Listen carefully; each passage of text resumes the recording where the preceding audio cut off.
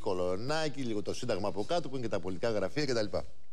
Και λέμε και γιατί δεν πρέπει να συζητούν οι πιο νέοι άνθρωποι για αυτά. Που έχουν όμως κομβικές θέσεις. Άρα ο λόγος τους έχει μια βαρύτητα. Και από την άποψη αυτή, να καλημερίσουμε τους σημερινούς μας καλεσμένους, τον, τον κύριο Παναγιώτη Κατσαρό, Καλημέρα. διευθυντή του Πολιτικού Γραφείου του Υπουργού Παιδείας. Καλημερίζουμε. Και την κυρία Σοφία Ζαχαράκη, αναπληρώτη εκπρόσωπο τύπου της Νέας Δημοκρατίας. Καλημέρα, κυρία Ζαχαράκη, που δεν θα το πιστέψετε, αλλά αυτοί οι δύο έχουν συνεργαστεί. Κατά ένα περίεργο τρόπο στο Υπουργείο Παιδείας είχα συνεργαστεί με χρυσό του η κυρία Ζαχαράκη επιλέξει μια άλλη διαδρομή. Από την άποψη αυτή, ίσως θα μπορούσατε να βρείτε και σημεία επαφής, αν και για ένα θέμα που, κύριε Κατσαρέ, το οποίο έχει ε, βρεθεί έτσι πολύ στην επικαιρότητα τις τελευταίες μέρες και έχει προκαλέσει και μια σύγκρουση που δεν είναι ίσον σημασίας, γιατί με την Εκκλησία, όταν τα βάζεις που λένε, είναι ε, κεντρικός, κεντρικού τύπου ε, σύγκρουση. Ε, είδα ότι υπάρχουν διαφορές παρά τη συνεργασία που λένε. Χτες στη Βουλή.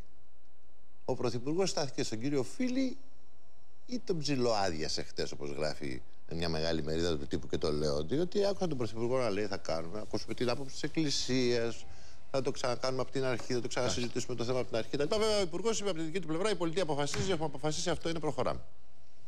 Σεβασμό στην Εκκλησία. Την εξέφρασε και ο Πρωθυπουργός και ο Υπουργός Παιδείας. Και από εκεί και πέρα, για το μάθημα των θρησκευτικών, όπως και για όλα τα υπόλοιπα μαθήματα, αποφασίζει η πολιτεία μέσα από το συντεταγμένο διάλογο που κάνει με το αρμόδιο όργανο που είναι το Ινστιτούτο Εκπαιδευτικής Πολιτικής. Θα ξανανοίξει ο διάλογος, γιατί ο κύριος Καμένος προανήγγειλε χθες διάλογο από μηδενική βάση. Κοιτάξτε, ο Πήγε διά... στον uh, Αρχιεπίσκοπο, όπως είδατε, και σε ένα άλλο κλίμα τελείως διαφορετικό, λέγοντας μάλιστα ότι εγώ ό,τι πει η ιεραρχία. Με αυτές τις θέσεις θα πάω. Κοιτάξτε. Ήταν πολύ σαφής και ο Πρωθυπουργός και ο Υπουργός Παιδείας. Το μάθημα θα εφαρμοστεί κανονικά, το νέο πρόγραμμα σπουδών θα εφαρμοστεί κανονικά. Από εκεί και πέρα όλα τα προγράμματα αξιολογούνται. Και βεβαίως ένα μάθημα στο οποίο η Εκκλησία της Ελλάδος θα πει τη γνώμη της, αναμφισβήτητα, χωρίς να σημαίνει ότι αυτή η γνώμη είναι δεσμευτική για το Υπουργείο Παιδείας, θα ακούσουμε τις παρατηρήσεις. Άλλωστε, οι παρατηρήσεις αυτές γίνονται με τον έναν ή με τον άλλο τρόπο τα τρία τελευταία χρόνια που το μάθημα σε συγκεκριμένα σχολεία εφαρμόζεται πιλωτικά. Δηλαδή και επί κυβερνήσεων Νέας Δημοκρατίας και Πασόκ εφαρμόζονταν πιλωτικά αυτό το πρόγραμμα. Αξιολογήθηκε, έπρεπε κάποτε να αξιολογηθεί και αποφασίστηκε ότι το μάθημα έχει πολύ θετικά στοιχεία για να διδαχθεί στα σχολεία και αυτό κάνουμε. Δεν κάνουμε κάτι διαφορετικό από ότι για όλα τα υπόλοιπα μαθήματα με τη συμβολή του Ινστιτούτου Εκπαιδευτικής Πολιτικής.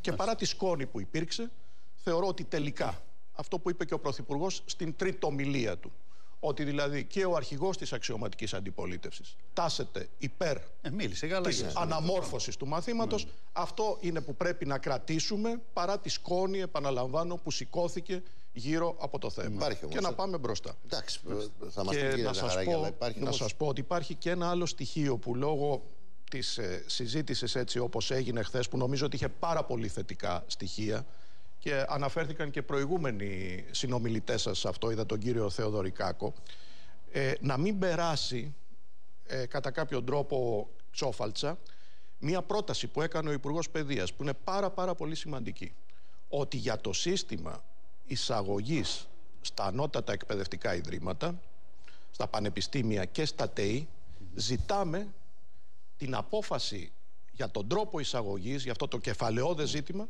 να μην την πάρει μόνο του το Υπουργείο Παιδείας υπό τη σημερινή σύνθεση, να αποφασιστεί από την Επιτροπή Μορφωτικών Υποθέσεων της Βουλής, επιδιώκοντας τη συνένεση της συντριπτικής πλειοψηφίας όλων. Είναι ένα κεφαλαιόδες ζήτημα, το οποίο ταλαιπωρεί είναι ένα και τις- ζήτημα που τις ταλαιπωρεί οικογένειες. τις οικογένειες χρόνια.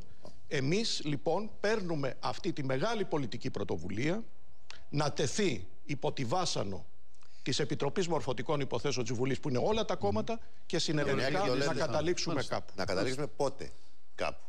Και μια και το λέτε. Διότι αυτές οι εκκρεμότητες, όπως ξέρετε, δηλαδή το ότι θα γίνει αλλαγή, αλλά δεν ξέρουμε πότε ακριβώς, ε, δημιουργούν μια ασάφεια και στο κοινό που ενδιαφέρεται. Στους ανθρώπους, Γι' στι αυτό, οικογένειες, στα παιδιά γι' κτλ. αυτό ενώ προχωρήσαμε, όπως είδατε, σε μείζονες αλλαγές, σε όλες τις βαθμίδες της εκπαίδευσης, σε μείζονες μεταρρυθμίσεις, τις οποίες θα έχουμε την ευκαιρία, ελπίζω να κουβεντιάσουμε, συζητήσουμε. αφήσαμε απ' έξω τον ευαίσθητο χώρο του Λυκείου.